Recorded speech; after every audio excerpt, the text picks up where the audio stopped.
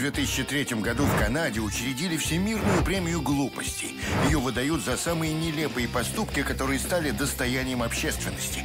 На первой же церемонии вручения рекордсменом премии стал действующий на тот момент американский президент.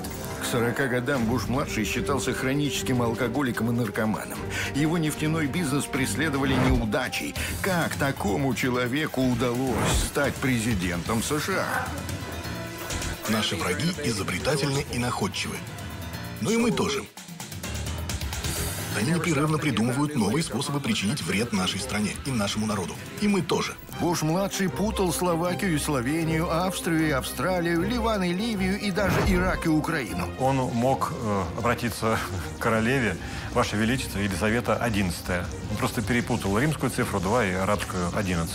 Помните, как зовут премьер-министра Индии? Это новый премьер-министр Индии.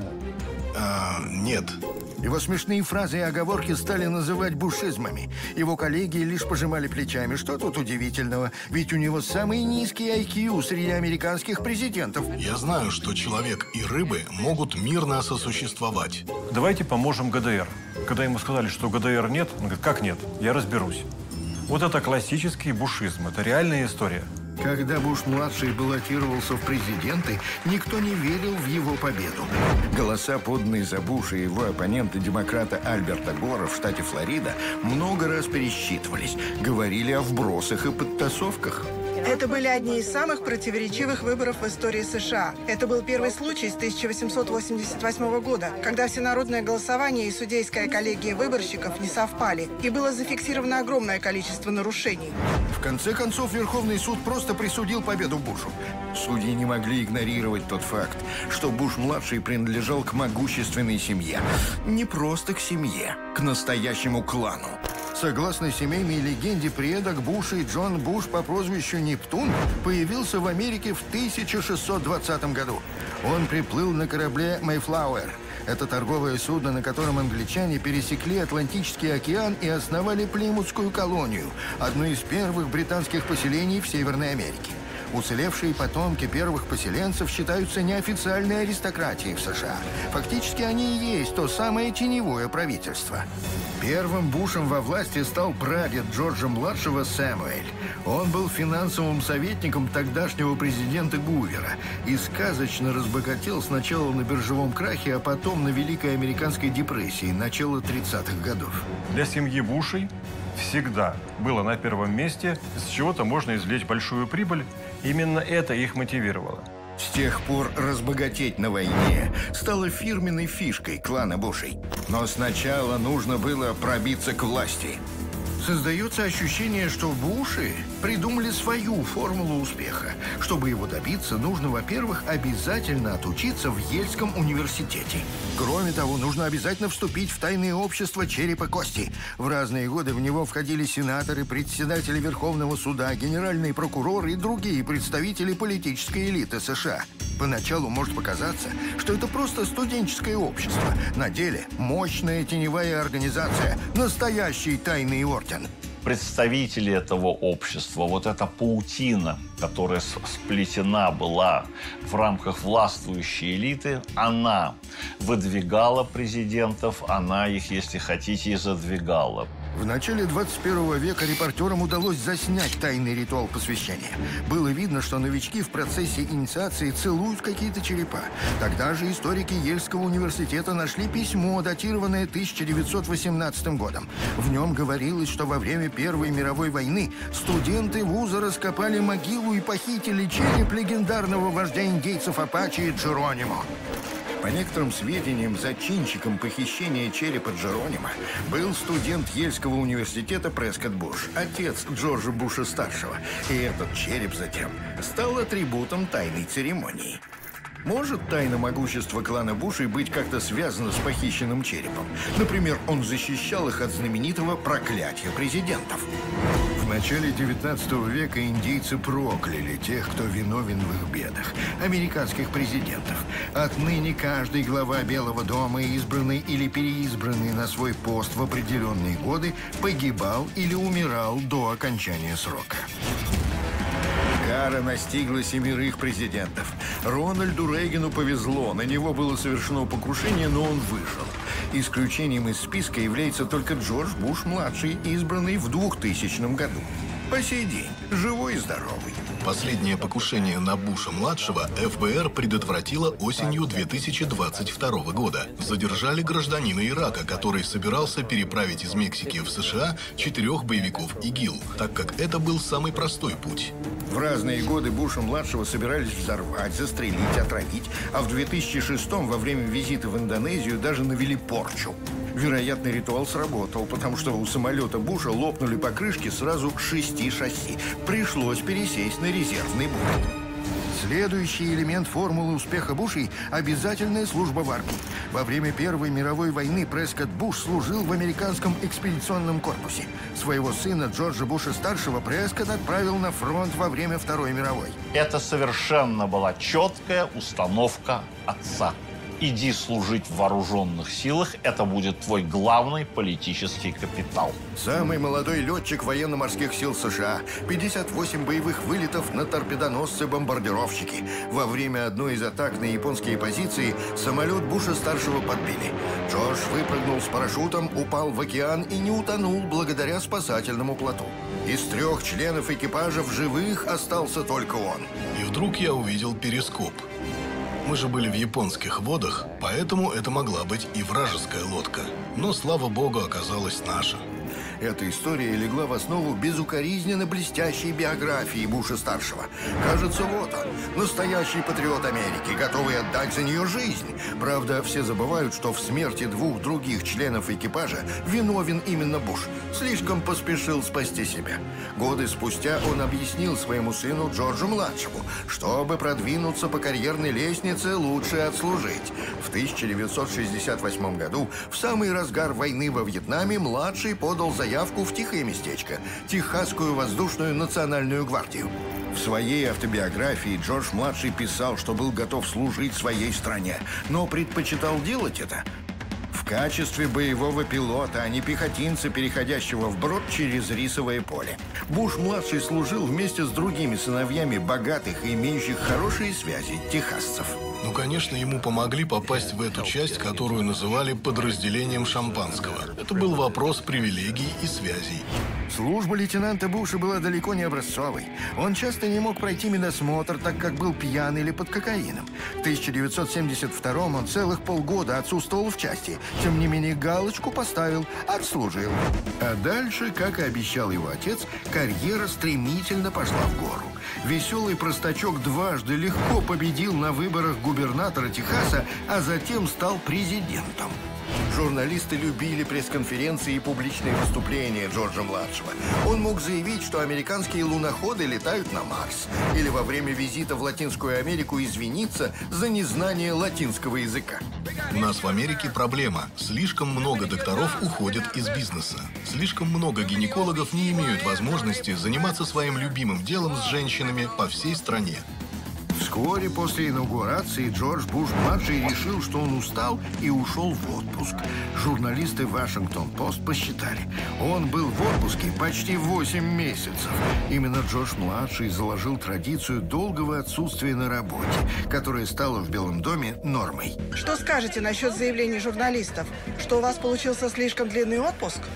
Они не понимают, что такое работа. Мне приходится многое делать для того, чтобы работать. Не обязательно быть в Вашингтоне. Вы представляете себе, насколько бывают полезны телефоны и факсы? Постепенно люди разочаровались в новом президенте. Рейтинг одобрения его политики упал до 50%. Однако печальные события сентября 2001 года сделали его невероятно популярным.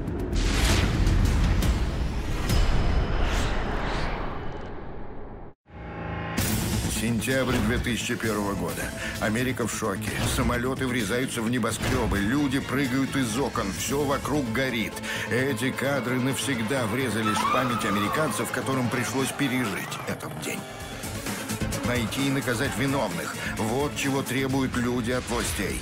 На пресс-конференции в Белом доме президент США Джордж Буш-младший обещает, возмездие не заставит долго ждать. Мы будем лишать террористов финансирования, морить голодом, натравливать их друг на друга, гонять с места на место до тех пор, пока у них не останется убежища. Однако на деле все происходило совсем не так. Небо над США было закрыто, в воздух поднимались только военные самолеты, и вдруг 13 сентября из Нью-Йоркского аэропорта вылетают несколько спецрейсов.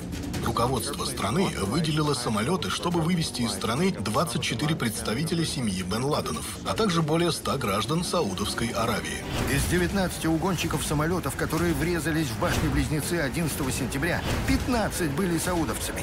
Кто распорядился выпустить из страны потенциальных свидетелей и, возможно, соучастников теракта? Буши не могут так вот просто сдавать своих многолетних партнеров. Что, собственно, и произошло. В 70-е годы Джордж Буш-младший познакомил отца со своим давним приятелем Джеймсом Баттом, с которым они вместе служили в Техасской воздушной национальной гвардии. Когда Бушам необходимо найти человека, который бы реализовывал некоторые схемы, ну, не очень, так сказать, моральные, надо было сажать туда доверенного человека. Джеймс Бат согласился сотрудничать с отцом и сыном Бушами. И при этом, ну надо же такому случиться. Он представлял интересы саудовских миллиардеров на территории США. Это миллиарды долларов. И э, большая часть этого капитала сконцентрирована в Соединенных Штатах Америки. Трудно даже представить, сколько этих денег осело в карманах удачливого семейства Бушей благодаря Ловкачу Бату. Две семьи, Буши и Бен Ладены, были действительно связаны и повязаны. И э, есть доказанный факт, что Буши э, брали их деньги.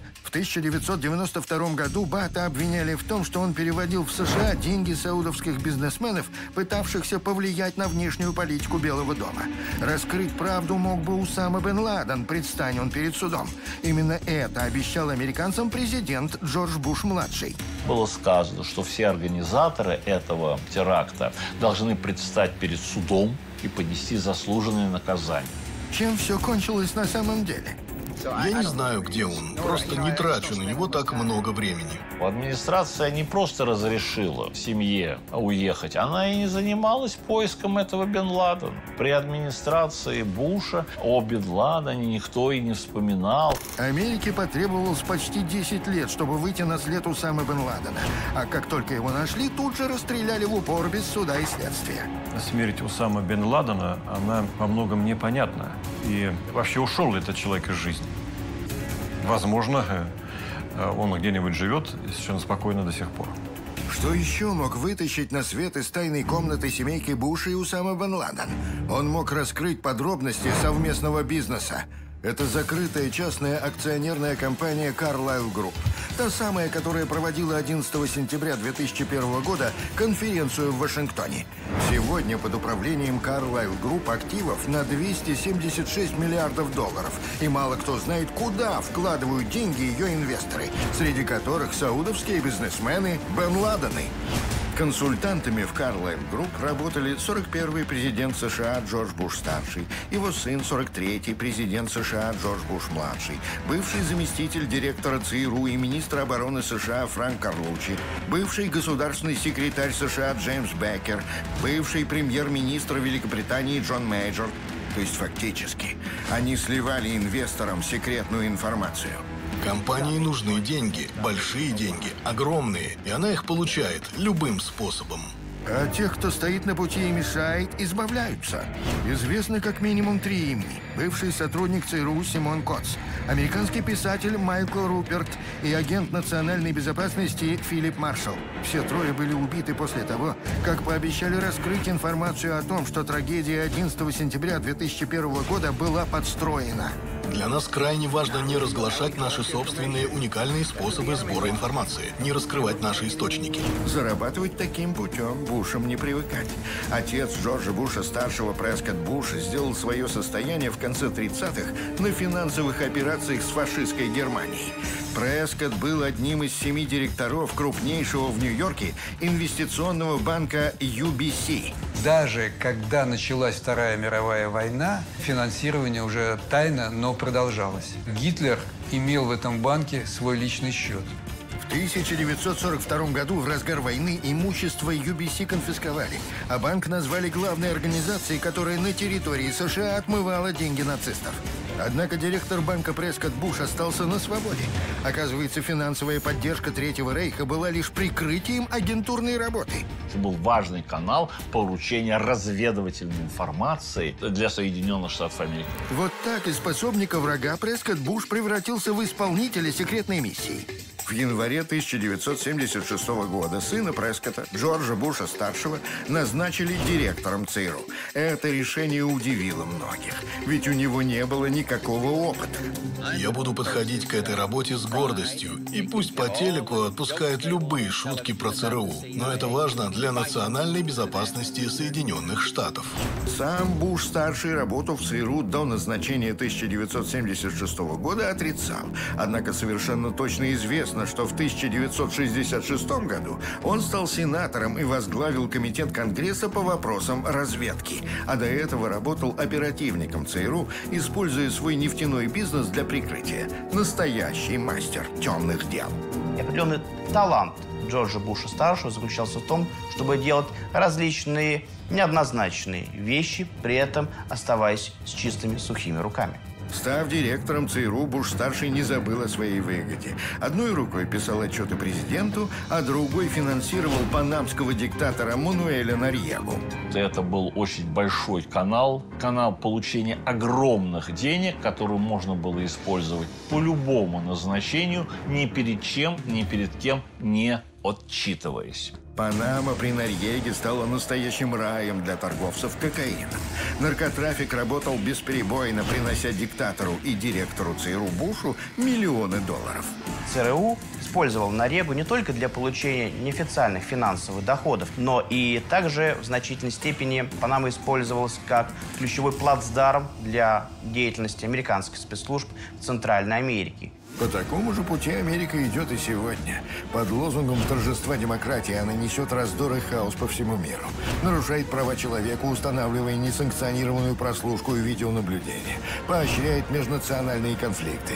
Распространяет биологически опасные вещества в секретных лабораториях. Захватывает рынки сбыта, делит ресурсы, торгует наркотиками. А началось все это тот год, когда Буш-старший возглавил ЦРУ. Имея некоторый опыт, я кое-что сделал правильно. Пару раз облажался. Но я использовал свой шанс. Джордж Буш-старший руководил разведывательным управлением всего 357 дней, но его именем в 1999 году назвали штаб-квартиру ЦРУ в Лэнгли. Такое могли сделать только за особые заслуги. Ему приписывают руководство операции по уничтожению Че Гевары, помощь Пабло Эскобару в организации работы Медельинского картеля. Якобы Буш-старший после смерти Мао Цзэдуна в 1976 году посадил во главе Китая Дэн Сяопина. Поддерживал операцию «Кондор» – массовое уничтожение оппозиции в Латинской Америке. А еще в его послужном списке организация базы спутникового наблюдения за всем миром в самом центре Австралии Пайнгап. Ее существование ЦРУ отрицало до 2013 года, пока Эдвард Сноуден не опубликовал доказательства. Вы когда-нибудь слышали название Пайнгэп? Кто это? Пайнгэп. Пайнгэп. Не особенно, но, по-моему, я уже слышал это название раньше. Отделение ЦРУ в центре Австралии. А, да, это они, Пайнгэп. Вы что-то об этом знаете? Я знаю кое-что, о чем забыл вам сказать перед этим интервью. Любой, кто давал присягу защищать источники и методы разведки, принимал ее, насколько я понимаю, на всю жизнь. И поэтому я не обсуждаю деликатные отношения с другими странами любого рода. В 1979 году Буш-старший решил выставить свою кандидатуру на президентских выборах. У меня было больше опыта в бизнесе, больше опыта в федеральном законодательном органе, больше опыта в иностранных делах. И я хочу быть президентом. Джорджу-старшему пришлось побороться с бывшим актером и губернатором Калифорнии Рональдом Рейганом. Бушу не нравилась программа соперника. Он активно критиковал ее. Он обещает снизить налоги на 30%, сбалансировать бюджет и усилить оборону. То есть он собирается одновременно тратить и остановить инфляцию. Я называю это шаманской экономикой, экономикой Вуду. Это просто не сработает. Буш проиграл Рейгану, но тот неожиданно предложил ему пост вице-президента. Рональд Рейган, видно, понял, что в лице Джорджа Буша старшего он действительно имеет и крупную фигуру, и такой человек ему, конечно, в общем, даже где-то необходим. Начался новый этап в истории Соединенных Штатов. Эти годы потом назовут «золотыми 80-ми». Буш-старший, который в начале предвыборной кампании язвительно назвал экономическую программу Рейгана «шаманской экономикой», теперь старательно избегал любой критики президента. Но доволен ли был своим новым положением мастер тайных дел?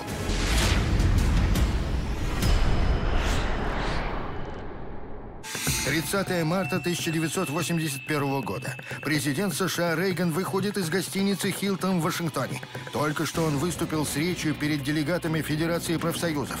Он уже собирается сесть в президентский автомобиль, и в этот момент какой-то мужчина из толпы стреляет в Рейгана. Рейган действительно оказался на волоске от гибели. И его спас только бронежилет, который у него был. Но как же стрелок-одиночка пробрался в толпе прямо к Рейгану и хладнокровно, словно в тире, выпустил в него шесть пуль? Может быть, его кто-то направлял к главной цели – убить президента? В этот период э, Буш-старший был вице-президентом. И по Конституции Соединенных Штатов э, после смерти президента он э, становится сам президентом. Существовала такая версия, что это покушение было организовано ЦРУ. Журналисты узнали, что стрелок Джон Хинкли вырос в Техасе, а его семья была связана с нефтяным бизнесом, так же, как семья Бушей. А теперь самое интересное. 31 марта 1981 года, то есть на следующий день после покушения, у сына Буша-старшего Нейла был запланирован обед с братом Джона Хинкли.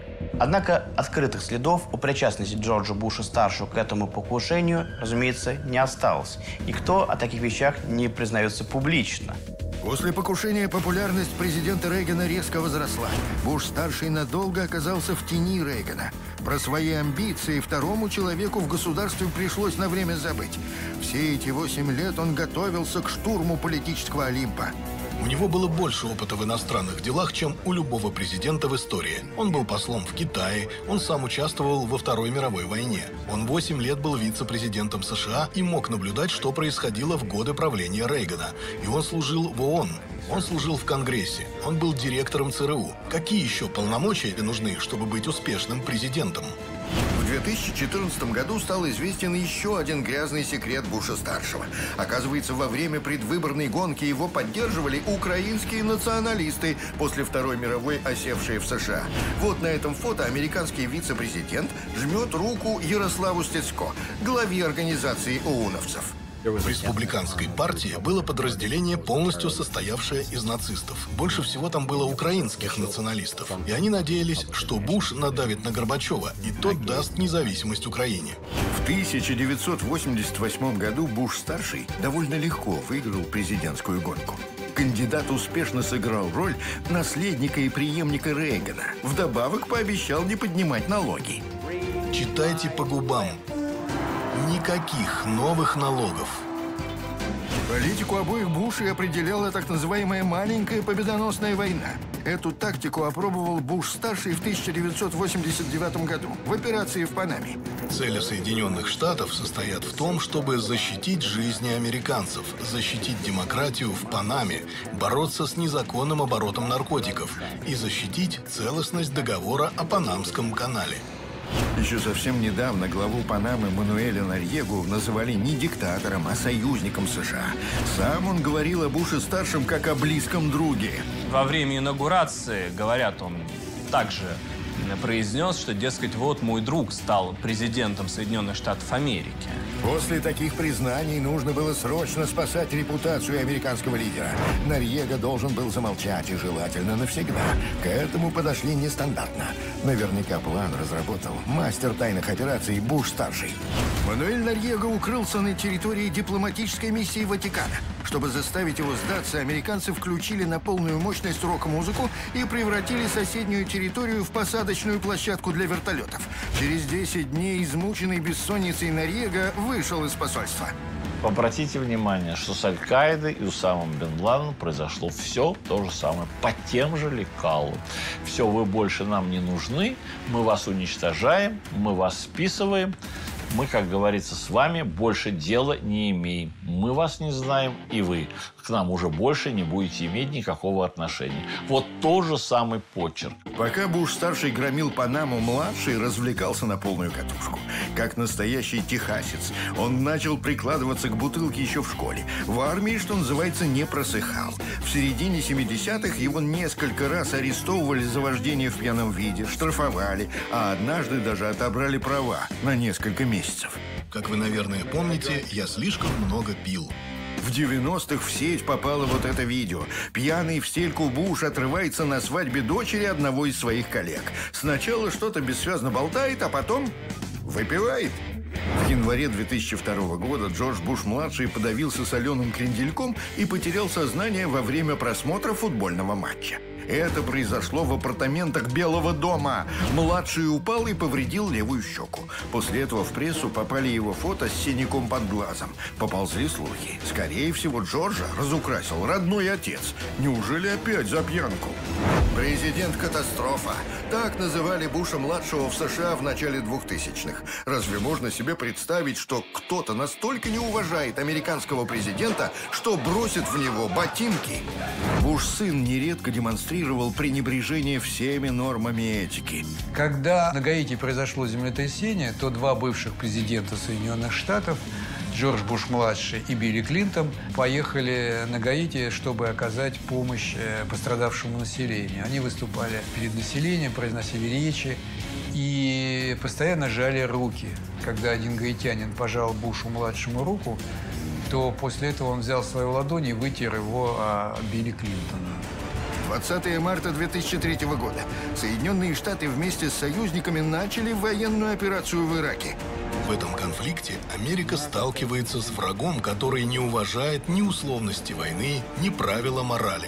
Саддам Хусейн разместил иракские войска и технику в мирных районах, пытаясь использовать невинных мужчин, женщин и детей в качестве щита для своих вооруженных сил. Войска коалиции не встретили серьезного сопротивления. 9 апреля 2003 года город взят без боя. Весь мир видел, как в иракской столице свергали статуи диктатора Саддама Хусейна. Америка торжествовала. Буш-сын закончил дело Буша-отца, но люди знающие говорят, вовсе не Буш-сын руководил войной в Ираке. Идеологом войны в Ираке был вице-президент Дик Чейни. Он первым выдвинул идею с оружием массового поражения и предложил нанести упреждающий удар. На самом деле у него был личный интерес. Дик Чейни, будучи акционером нефтяных компаний, получал личный финансовый доход от приватизации иракских месторождений после американо-иракской войны и, как следствие, получения американскими компаниями доступа к иракской нефти. Чейни тоже учился в Ельском университете, как отец и сын Буши. И так же, как они, был принят в тайное общество череп и кости. А значит, принадлежит к американской политической элите. В общем, свой. Кроме Чейни в деле, был еще один человек. Многие решения, которые принимаются в администрации, на самом деле принимаются в офисе Дика Чейни. Папа Джордж Буш-старший руководит страной, а вот связующим звеном является Дик Чейни. Буш-старший утверждал, война в заливе дает начало новому мировому порядку. Это предупреждение любому диктатору в настоящем или будущем времени. При этом Соединенные Штаты оставляют за собой право назначать плохим парнем любого национального лидера, если он действует вопреки интересам Вашингтона. Если бы не мы, Саддам Хусейн сидел бы сейчас на вершине мировых запасов нефти, и у него было бы ядерное оружие. И только мы смогли его остановить. Но за всеми этими красивыми словами стоял банальный распил военного бюджета и захват иракских месторождений нефти. Ирак был катастрофой. С него началась цепь событий, которая теперь ведет к миграции, может быть, даже к разрушению Европы. Он начал войну в Ираке. Мы потратили на эту войну 2 триллиона долларов. Мы потеряли тысячи жизней. Затянувшаяся война в Ираке обрушила рейтинг президента. Шли разговоры о том, что Джорджа Буша-младшего могут отстранить от должности. Обвинения были самые разные, одно тяжелее другого. Это и Абу-Грейб, это изнасилование массовое, это воровство, мародерство, массовые убийства, военные преступления, за которые, кстати, мало кто понес серьезное наказание. В последний год второго президентского срока Буша-младшего соцопросы показывали, почти половина американцев поддерживали отстранение президента от власти. Почему же клан Буша не был сильно обеспокоен такими общественными настроениями?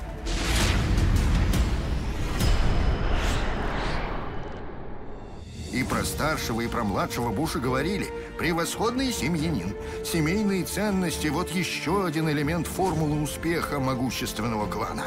Они женились один раз, у них были хорошие отношения с женами. Их жены никак их не дискредитировали. У них были дети. Сам Джордж Буш-старший оставил пятеро детей, 17 внуков, 8 правнуков. Главное – правильно выбрать жену. Первым из Бушей в этом убедился Прескотт, отец Буша-старшего. Он женился на дочери крупного финансиста, и ключевая позиция э, в большой компании, которая впоследствии превратилась в э, банк, это было ничем иным, как свадебным подарком Бушу. Лора Буш – жена Джорджа Буша-младшего, бывшая учительница и библиотекарь. Благодаря ей он бросил пить. Джордж очень много пил, и когда ему исполнилось 40, Лора сказала «или я, или виски». Правда, сама Лора никогда не отказывала себе в алкогольных коктейлях и вине. Говорят, что она имела на мужа огромное влияние. Если ей не нравился какой-то чиновник, то его увольняли. И Джордж-младший всегда внимательно слушал, что говорила ему Лора. Брак Лоры и Джорджа Буша-младшего ставили в пример другим семейным парам. Однако в 2002 году Буша обвинили в изнасиловании девушки по имени Марджи Шодингер. Она утверждала, что Буш, который в то время был губернатором Техаса, и несколько офицеров ФБР накачали ее наркотиками, а затем воспользовались ее беспомощностью. Год спустя, после подачи иска, девушка была обнаружена мертвой в своей квартире. По официальной версии, она совершила самоубийство. А вот история, которую Лора долго и тщательно скрывала. В ноябре 1963 года, когда ей было всего 17 лет, она вместе с подругой поехала за пиццей на машине родителей. На неосвещенном перекрестке машина врезалась в другой автомобиль, за рулем которого находился одноклассник Лоры. Парень скончался на месте от перелома шейных позвонков. Вся эта история сильно изменила Лору. Она стала более вдумчивой, грустной, более замкнутой. Брак Джорджа-старшего и Барбары называли идеальным. Они прожили вместе 72 года. Всем самолетам, на которых он летал во время Второй мировой войны, Буш-старший давал имя Барбара в честь своей невесты. Это такой романтический поступок, когда фактически неотъемлемого друга на войне называешь именем своей невесты. На самом деле это больше показное, чем реальное. Посмотрите на это фото. Справа, рядом с Бушем-старшим, его помощница Дженнифер Фитчер. Оказывается, у них больше 10 лет был роман. Это началось в 1974 году. Он взял себе помощницу, ей было, по-моему, тогда лет 40. Это была вполне миловидная женщина. В середине 70-х годов Барбара Буш долго боролась с депрессией. Она сама сказала мне, что в то время серьезно подумывала о самоубийстве. На старости лет любимым занятием Буша-старшего стало хлопать по попе хорошеньких женщин. Дело дошло до обвинений в сексуальных домогательствах. Актриса Хизер Лин заявила, «Он не пожал мою руку, он коснулся меня сзади с инвалидного кресла, находясь рядом со своей женой Барбарой Буш. Он рассказал мне при этом грязную шутку. Джорджу Бушу пришлось извиняться перед актрисой. Ему тяжело держать руку чуть выше, чем ягодицы той женщины, которая находится рядом. Но мне кажется, это лукавство. 是吧 Но оказывается, это еще цветочки. Журналисты раскопали целый ворох грязного белья на Джорджа-старшего. Оказывается, мастер тайных дел, будучи вице-президентом, был замешан в педофильском скандале. В 1988 году стало известно, что некий тайный помощник Буша привез ночью в Белый дом двух несовершеннолетних мальчиков. Один из них по имени Пол Боначи несколько лет спустя дал интервью. В Белый дом неоднократно привозили детей для сексуальных утех высокопоставленным лицам. Большинство детей были чернокожими, но попадались среди них и белые. Это были в основном юноши и мальчики. Вы можете критиковать меня, но если вы будете критиковать моего мужа, вы покойник. Барбара Буш не могла молчать, когда плохо говорили о ее мальчиках, сыновьях или муже. Все воспринимали ее не иначе, как милую бабушку. Но люди, близкие к семье, говорят, она больше похожа на Дона Корлеоне, главу мафии. Можно сказать, что сила в этой семье и сила, которой обладал Буш-старший, исходила от Барбары. Она была именно таким сильным человеком, и она всегда была рядом. Не случайно у этой милой бабушки с белыми волосами и неизменным крупным жемчужным ожерельем на шее было семейное прозвище «Силовик». Именно она решала все в семье Бушей. Она знала все. Политически она была очень проницательна. Если она считала, что команда плохо работает с ее мужем, она говорила ему об этом. Тихо, но решительно. Так что она была для него огромным сторожевым псом и мощной опорой. Мать Барбары Буш Полина Робинсон, известная красавица, вышла замуж за издателя глянца. Полину знали как обладательницу экстравагантного вкуса и любительницу жить непосредством. Однажды она гостила в Париже у своей подруги, в доме которой жил маг и сатанист Алистер Кроули. В этот период Кроули проходил инициацию среди оккультистов во Франции. Инициация подразумевала различные ритуалы, в том числе сексуальные. Не исключено, что Полину Пирс тоже вовлекли. Полина вернулась в Америку в октябре, а в июне следующего года родила девочку, которую назвали Барбарой. Так что она вполне могла быть дочерью Алистера Кроули. А отец и сын Буши, будучи президентами страны, формировали политику под влиянием этого теневого персонажа. Она пользовалась определенным влиянием в Белом доме. И люди, которые работали в Белом доме, даже не всегда это понимали. Она была голосом в ухе своего мужа или сына о том, что имело значение, на чем нужно сосредоточиться и кому доверять. В 1987 году президент США Рональд Рейган публично заявил о важной роли сатанизма в современной американской жизни. После этого его правительство приняло ряд законов, которые запрещали ущемлять права сатанистов при приеме в государственные учреждения. А сегодня мы видим триумфальное шествие сатанизма по миру. Меняются карты американского политического пасьянса, а власть остается в одних и тех же руках. Вы знаете девиз Буша «Ты умрешь, а я буду летать». Люди, знающие за кулисье американской политики, понимают, Буши будут всегда. Журнал «Тайм» назвал их «спокойной династией», избегающей лишнего шума, скандалов и умело скрывающей свои политические амбиции под видом служения государственным интересам. В семье Бушей было два сенатора, два губернатора, два президента, один судья Верховного суда США. У клана есть традиции, связи, богатство и потомство. Готовые продолжить семейное дело. Я полагаю, что семья Буши является на нынешний момент самой влиятельной семьей в США. Перспектива того, что кто-то из Бушей станет третьим президентом из этой семьи, вполне реальны.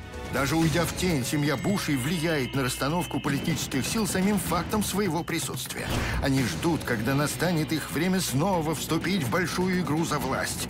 К тому часу им помогут обновить образ спасителей Америки и славных парней и спрячут в тайной комнате все их грязные секреты.